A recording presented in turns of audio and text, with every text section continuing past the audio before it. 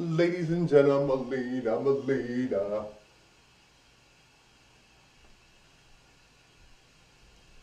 Now, guys, I haven't really mentioned the Travis Scott tragedy very much, but it seems very, very sad. Now, in Travis Scott's defense, I know it was horrible and it just, you would not believe it would even happen. In Travis Scott's defense, how is he going to know this kind of tragedy is going to happen in his concert? I mean, when I'm going about my day, I never think of tragedy really happening. I don't think of it, but it does happen everywhere all the time. So when you see it, you're just really shocked and you can't believe it's actually happening. So when you're doing a concert, that's the last place you're thinking this is going to happen. You're not, I'm sure he's not intentionally wanting this to happen. So obviously not.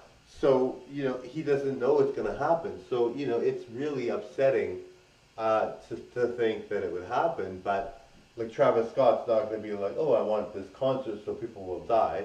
Obviously, he doesn't want that. He's not like that, I'm sure. Uh, so, you know, it's just a big tragedy, and no one expected it to happen. I mean, a Travis Scott concert, it sounds really fun and exciting, right? Anyway, thank you for watching. Bye now.